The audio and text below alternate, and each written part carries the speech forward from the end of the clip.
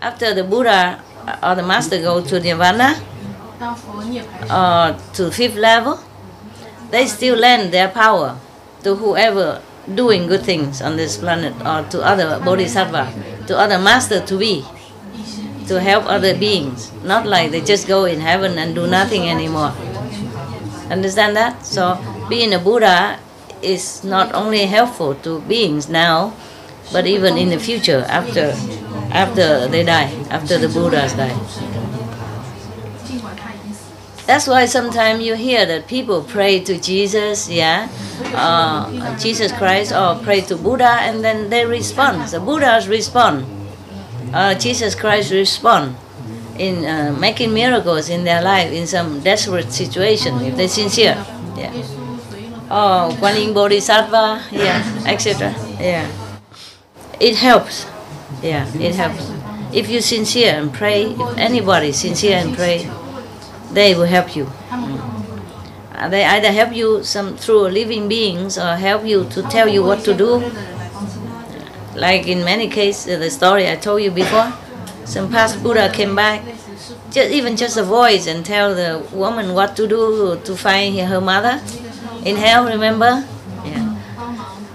And then she go down to hell, but nothing harm her. You see, she could she rescue even all the hell being that day.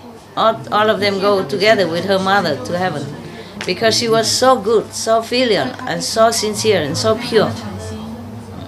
And then the Buddha can lend the power to such pure person. Therefore, not only her mother liberated, but all the hell being at that time too. Okay, all right, huh? So if you don't want to offer your life to the tiger, then and please meditate. At least two and a half hours a day and be vegan, make peace. Huh? Meditate, be vegan, make peace. Three things. Yeah. It's good now. Mm. That is good. Similar to when you help the other being, you know, like uh, like the handicaps people. Remember last story? Yeah. The Buddha said the merit is like just as if make off- offering to the Buddhas. Many, many, many, many, many thousands of millions of years merit. You will be born in rich family, famous family, have happiness, many lives. If you're born as a human, or you're born in heaven and enjoy a long, long, long time in heaven. Understand? Yeah. So helping the helpless, helping the needy, no matter where, no matter what, is really helping yourself. The reward is more than more than anything you can imagine. So many times uh, I I ask you to go and this and that to help other people in disaster and all that, and you always report to me. You say, "Oh, we feel like Master blessing is there, and we feel all happy and elevated, even though in a very troubled situation. But your soul feel elevated, your spirit feel elevated, Uh, your heart feel compassionate and sorrowful for the people in in need.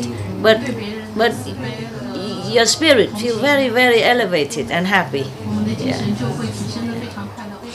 And you always thank me. Don't have to thank me. Thank yourself. yeah, because you have love for others. And that's why you feel like that. Uh, and that is just the beginning. Yeah. Yeah, things in life, in your life will change always for the better after that. And later you go to higher heaven extra because of that. You know?